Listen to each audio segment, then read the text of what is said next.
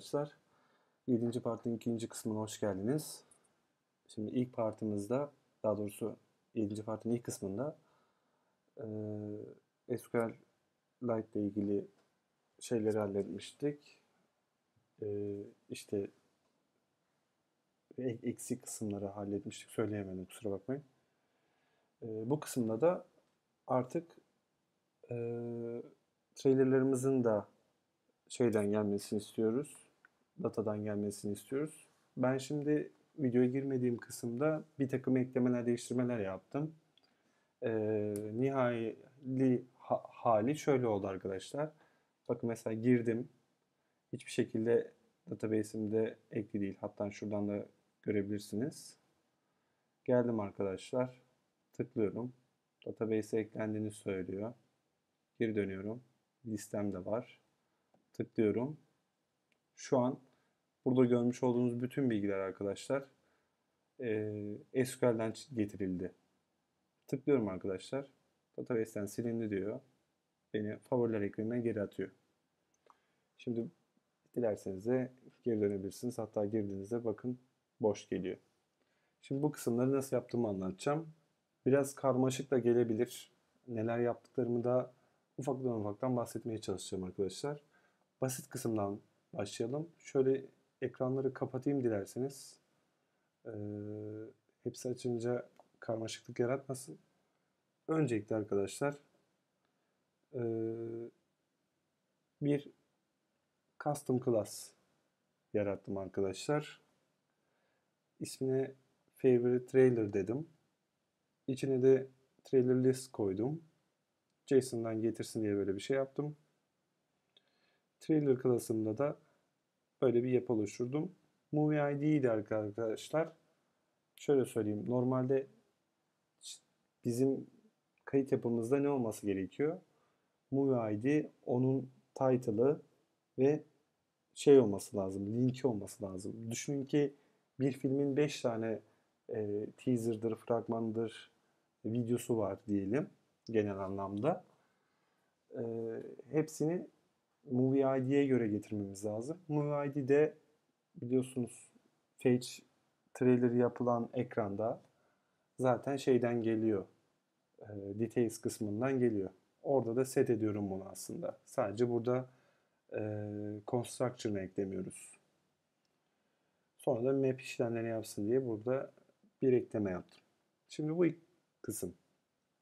Database'te bunu nasıl çağırdım? Onu göstereyim. Şöyle birazcık yukarı çıkacağım izninizle. Database yine yaratılıyor arkadaşlar. Burada hem favorite yaratılıyor hem de ben buraya favorite trailer diye bir tane tablo oluşturdum. İşte ID'si, e, name'i.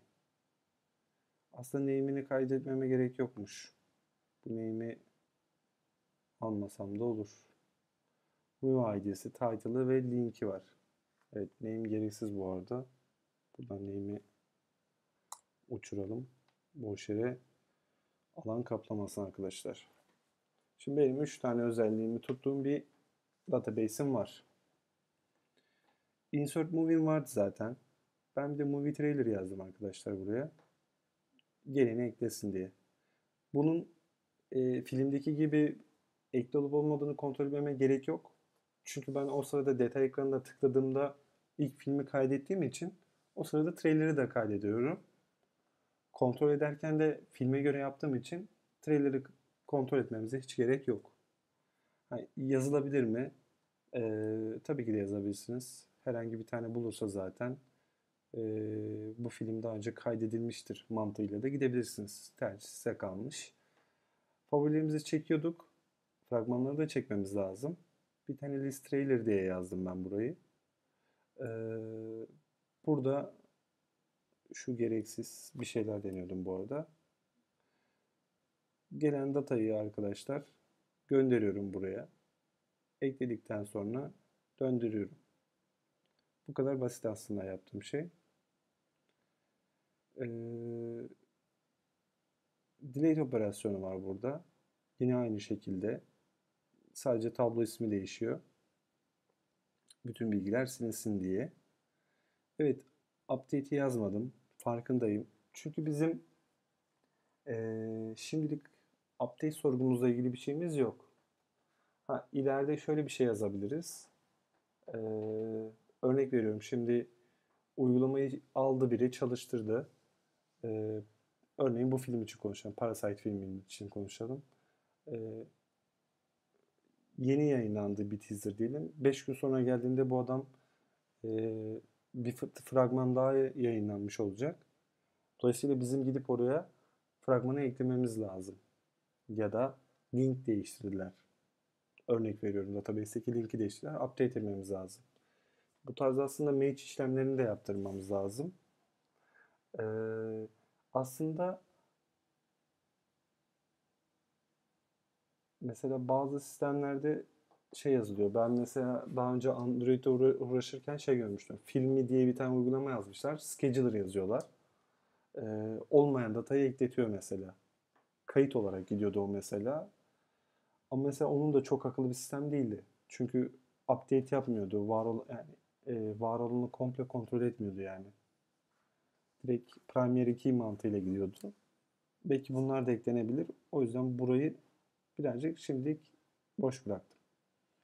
Bu kısım böyle. Ee, sizin görmediğiniz kısımda ne gibi değişiklikler yaptım? Favorite Details kısmı var arkadaşlar. Aslında filmlerin çekildiği kısım orası. Biliyorsunuz orada her şeyi getirmiştim. En azından ben öyle hatırlıyorum. Getirmiş miydik?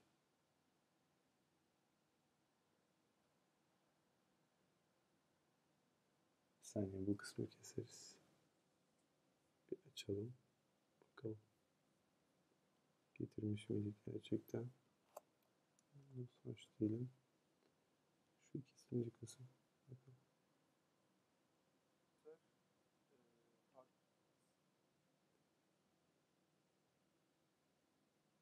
Evet varmış.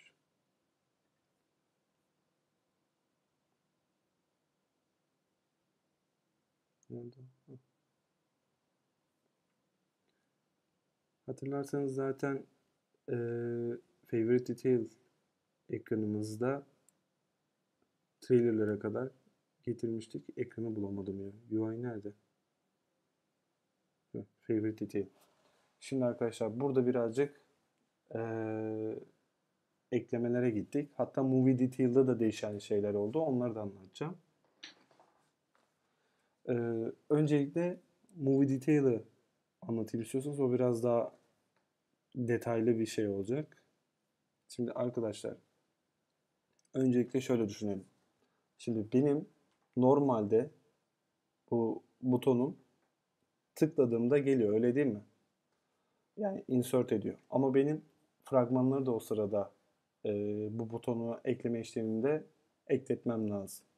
Ama bunun fetch işlemi yani blok pattern işlemi e, asenkron olarak farklı dönüyor. Benim bir şekilde bütün sayfayı load ettim mi etmedim mi diye kontrol edeceğim bir state olması lazım. Ben de buna isload diye bir şey dedim. Şimdi isload'a gideyim. Bu content page'e ekledim arkadaşlar bunu. Şimdi isload'ı e, bu state'te false yaptık diyelim ki.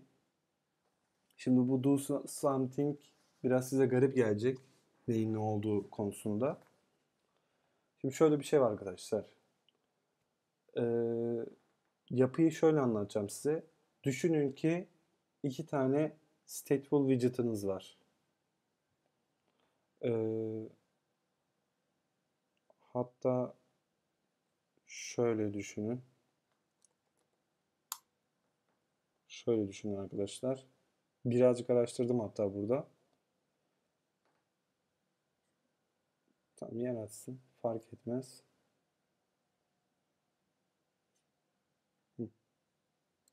Şimdi biri bu olsun.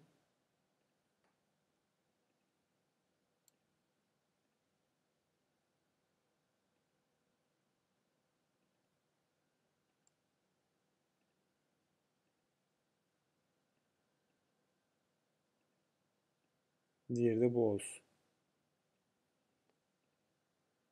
Bu da yeşil olsun. Şimdi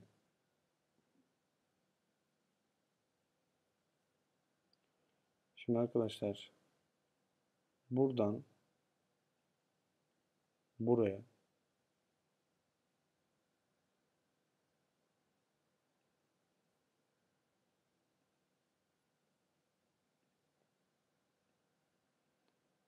Şimdi bir takım bilgiler akacak diyelim. İkisi arasında şey yapılıyor. Düşünün ki burası bizim e, detay ekranlarımızın bilgileri yüklendiği kısım. Burada da e, trailerları fetch ettiğimiz kısım. Şimdi bir şekilde şurada görmüş olduğunuz buton ilk başta gizli olacak. Sonra ben diyeceğim ki git e, bir callback function çalıştır. Buradan bir cevap bekle yani. Bunlar bütün hepsi yüklendikten sonra buradaki datayı da al. Birlikte buraya gönder. Daha sonra buradaki state'i değiştir. Ona göre butonu göster. Ve insert işlemlerine başlat demem lazım. Biraz karmaşık geldi. Farkındayım. Anlatmak istediğim şuydu aslında. Is false değil mi? Ben trailer data diye bir tane e, değişken atadım. Do something'de model geldi mi bunu set etsin istedim. Şimdi normalde arkadaşlar bakın isload false olduğu için boş bir şey basıyor aslında bunun else kısmında. Else kısmına şöyle geleyim. Bakın boş bir şey yazıyor. Ee, ama bunun hemen altında bulunan şöyle geleceğim arkadaşlar. Birazcık aşağıda kontrole gidiyorum ben de. Bakın preload content'imize callback diye bir şey ekledim. Ve o do something'i de burada set ettirdim. Şimdi bu callback ne? Onu göstereyim. My callback diye bir şey ekledim. Ee, bunu şöyle tanımlıyorsunuz arkadaşlar. Sayfanın en altında yani bulunduğum dartın en altında dedim ki trailer modeli yani içinde trailer model olarak dönebilecek bir callback function tanımladım. Type def yaptım yani. Bunu da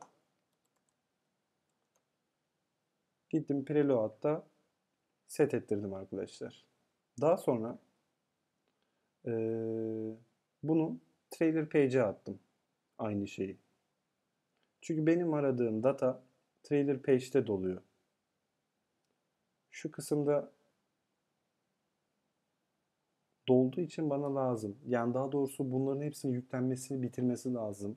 Ondan sonra bana lazım.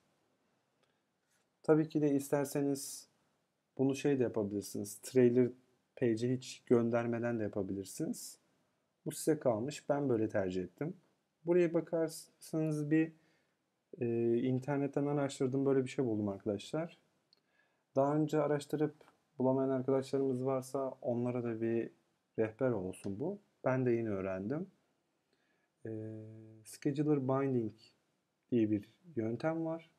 Stateful Widget'ın içine yazıyorsunuz. Bu arkadaşlar son frame'e kadar widgetlarınızın e, initialize edilip etmediği bilgisini gönderiyor.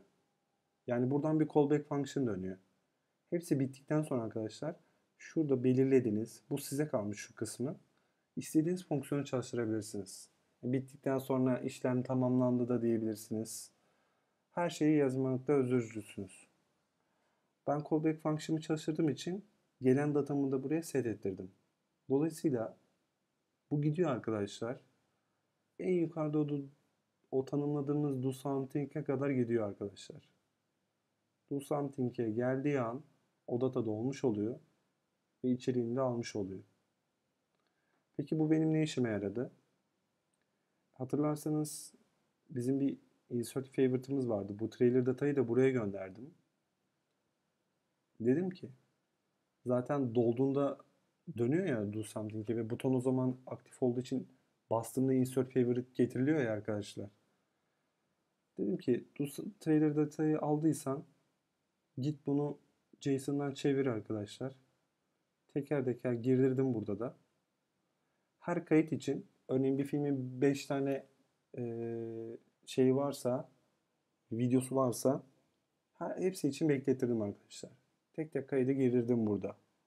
Zaten kayıt ekleme işlemi çok hızlı olduğu için yani milisaniyede olduğu için bu farkı anlamıyorsunuz bile.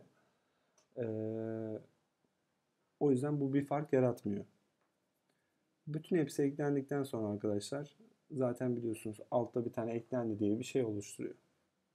Bu kısmı bu kadar yani. Eklediğim, değiştirdiğim kısım bu kadar. Geri kalalı, e, geri gelelim affedersiniz. Favorite Detail ekranına. Peki aşağıda videoları nasıl gösterdim? Aslında orada da çok bir şey yapmadık. Movie Detail'dan arkadaşlar aldık şeyi, yapıyı. Zaten bütün filmlerimiz gelmişti. Ha, şöyle bir şey var. Ee, özür dilerim, onu bir anlatayım hemen. Bu arada buraya da gerekli eklemeleri yaptım. Yani trailerlar da gelsin diye bir şey yaptım. Bir de delete ederken film e, fragmanlar da delete edilsin diye gerekli eklemeyi yaptım. Yani delete operasyonu çalıştığında aslında her ikisini de siliyor. E, detay ekranında da şurada bir tane arkadaşlar feature builder yarattım. Bildiğiniz şunu kullanmayabilirsiniz. Şöyle bunu da birazcık düzenleyelim. Bildiğiniz oradaki yapıyı aldım arkadaşlar. Benim ee, datalarımın isimlerini yazdım buraya. Gerekli bilgilerin çekildiği yere. Böylelikle gelmiş oldu arkadaşlar. Yani ekstra bir şey yapmadım. Ee, yani ben artık filmi eklediğimde geliyorum bakıyorum arkadaşlar. Bakıyorum detay ekranda. Bakın chat diye film gelmiş oluyor arkadaşlar. Hatta linklerin çalışıp çalışmadığını da göstereyim size.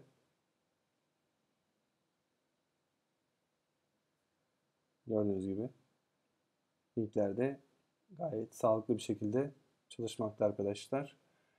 Ee, böylece SQLite kısmını da halletmiş olduk. Bu arada bu popülerin detay ekranı eksikti bir tek. Ee, arada kod kısmını arkadaşlar kaçırmasın diye onu da bir söyleyeyim arkadaşlar. Çok bir şey değil ama on tap bilgisini ekledim sadece aslında. Şu home screen ekranımızdaki e, search bir tane daha var.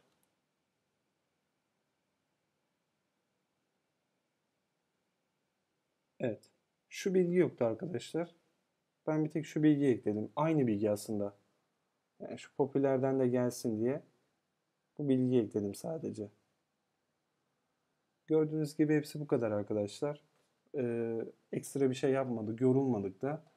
Ee, SQLite'ı da artık bu partta bitirmiş olduk. Ee, beni izlediğiniz için teşekkür ederim. Güzel yorumlarınız için. Ee, bir sonraki partta zaten artık bu autocomplete text olayını halledeceğiz. Dediğim gibi ben zaten diğer makinede bunu hazırladım. Kodunu. Ee, yapabiliyor muyum diye.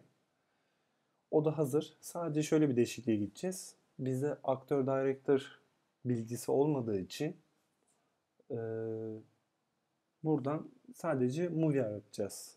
Belki ilerideki update'te şöyle bir şey yaparız. Buradan switch ettirebileceğimiz bir şey seçeriz. Yani movie arattır, aktör arattır, director arattır gibi bir yapıya da gidebiliriz. Belki o zaman e, filmlerin trailerlerin altına bir bölüm daha ekleriz.